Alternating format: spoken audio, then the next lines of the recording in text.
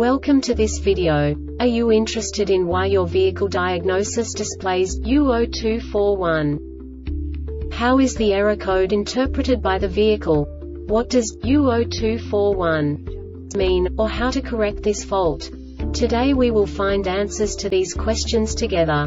Let's do this. First, let's look at the history of diagnostic fault code composition according to the OBD2 protocol, which is unified for all automakers since 2000. We divide the electric system of automobile into the four basic units. Powertrain, body, chassis, network. This distribution is defined in the first character code. If the second character is expressed as zero, it is a standardized error. In the case of numbers 1, 2, 3 it is a more prestigious expression of the car-specific error. The third character specifies a subset of errors. The distribution shown is valid only for the standardized DTC code. Only the last two characters define the specific fault of the group. Let's not forget that such a division is valid only if the other character code is expressed by the number 0. Our website airbagreset.sk produces useful videos for you. You do not have to go through the OBD2 protocol anymore to know how to troubleshoot any car breakdown. You will find all the diagnostic codes that can be diagnosed in a Jeep vehicles. Also many other useful things. The following demonstration will help you look into the world of software for car control units. You unbelievably can move the video a bit further.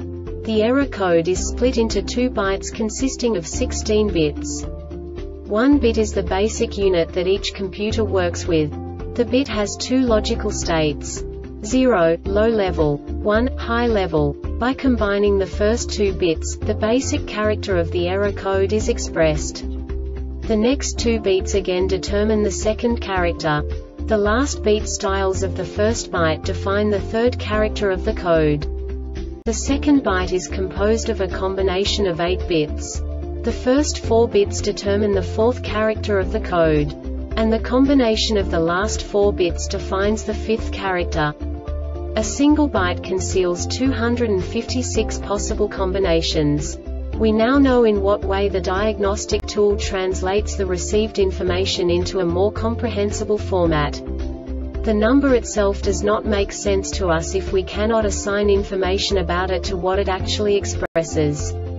So, what does the diagnostic trouble code U0241 interpret specifically Jeep car manufacturers?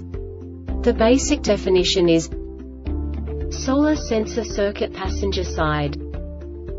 And now this is a short description of this DTC code. Open or short in passenger side solar sensor circuit. This diagnostic error occurs most often in these cases.